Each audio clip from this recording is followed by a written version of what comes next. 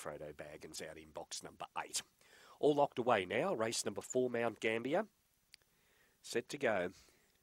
Ready, and away they go and racing. Midnight Daisy pinged the lids and leads settling down by three. Revved up Rocket second around the outside, dashing Pedro. Wider out was Frodo Baggins. Then came further back Connor's Choice back towards the rear. Another pick off the back of Midnight Daisy in front, but out after it quickly is Frodo Baggins. Then came dashing Pedro on the turn. Midnight Daisy the inside out wide. Frodo Baggins between them. Dashing Pedro. Frodo Baggins goes home the better to beat dashing Pedro and Midnight Daisy. A good charge up the straight. In behind them then came Connor's Choice. Another another pick. It was back amongst the uh, tail enders there with uh, back amongst the tail enders as well there was Connor's Choice. Stand by for placings 23 and 20 odd the time.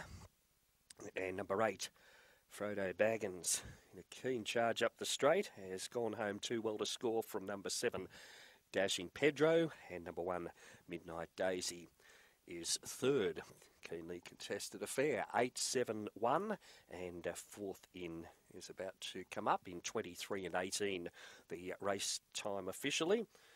Connor's choice it was that got fourth. So it was 8 7 1 and 4, 23